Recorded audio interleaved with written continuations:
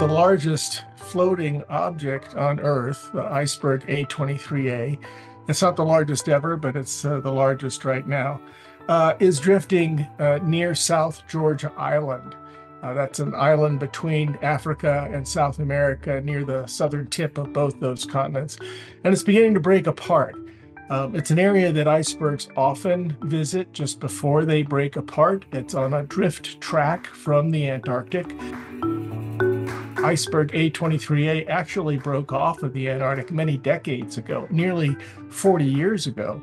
Uh, but it has been stuck off the coast of Antarctica for most of that time, and only recently did it come ungrounded and begin to drift northward. So, right now, the iceberg is breaking apart into big pieces, and it's still quite cold because it's still winter.